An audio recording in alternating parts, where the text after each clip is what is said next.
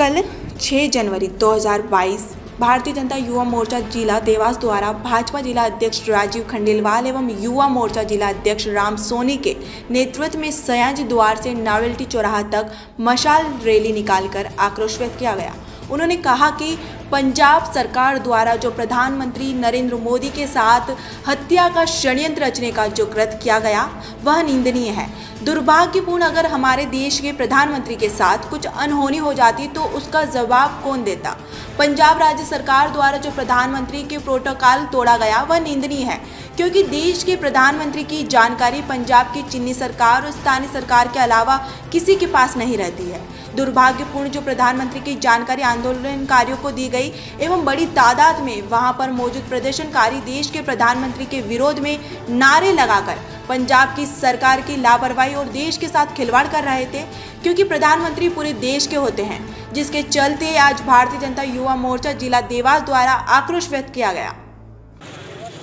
पंजाब सरकार द्वारा जिस तरह से देश के प्रधानमंत्री आदरणीय नरेंद्र मोदी जी को अपमान किया गया है और दुर्भाग्यपूर्ण जिस प्रकार की ये घटना पंजाब सरकार द्वारा कथित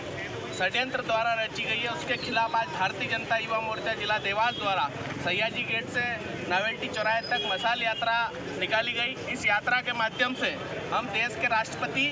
आदरणीय रामनाथ कोविंद जी से मांग करते हैं कि वहाँ के मुख्यमंत्री को तत्काल हटाया जाए। इसी यात्रा इस मांग की प्रधानमंत्री नरेंद्र भाई मोदी जी का जिस प्रकार से सुरक्षा चूक पंजाब की सरकार ने की है, उसके विरोध में भारतीय जनता युवा मोर्चा जिला देवास द्वारा आज मशाल रैली के माध्यम से जन जागरण अभियान चलाया गया है। इस देश के यशस्वी प्रधानमंत्री नरेंद्र भाई मोदी जी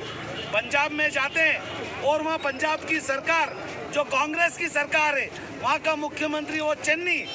ने जिस प्रकार से सुरक्षा चक चूक कराकर एक षड्यंत्र देश के प्रधानमंत्री के साथ करने का प्रयास किया है, ये उसका जो दुस्साहस था, वो निश्चित रूप से इस देश में क्षमा योग्य नहीं है। और हम सब युवा मोर्चा के कार्यकर्ताओं के माध्यम से आज इस जन जागरण अभियान में हम उस चेन्नई चेन्नई सरकार को ये चेतावनी देना चाहते हैं कि जिस प्रकार से आपने देशद्रोह का काम किया है, जिस प्रकार ने आप, आपने देश के यशस्वी प्रधानमंत्री की सुरक्षा में चूक कराकर उनको मौत के मुँह में धकेलने का काम किया है, निश्चित रूप से यह दंडनीय अपराध है और ये समाज योग्य अपराध नहीं है। आज हम सब युवा मोर्चा के कार्यकर्ताओं के माध्यम से, इस मशाल रैली के माध्यम से चेतावनी देना चाहते हैं कि कांग्रेस की उस सरकार ने जिस प्रकार से पंजाब में प्रधानमंत्री की सुरक्षा में चूक करके इस देश की राष्ट्र जनता के साथ आघात करने का काम किया है, वो निश्चित रूप से माफ़ी योग्य नहीं है। और हम राष्ट्रपति जी से मांग करते हैं कि पंजाब की सरकार को बर्खास्त करे और बर्खास्त करे ताकि वहाँ पर जिस प्रकार से अराजकता वाली कांग्रेस की सरकार चल रही है, उसका समाप्त हो। और हमारे देश के यशस्वी प्रधानमंत्री, दीर्घायु हो और देश की और मातृभूमि की ऐसी सेवा करते रहे, इसी संकल्प के साथ आज युवा मोर्चा मैदान में आया है। देवास से कैमरामैन अभिषेक सोनी के साथ राजेश पवार की ये रिपोर्ट।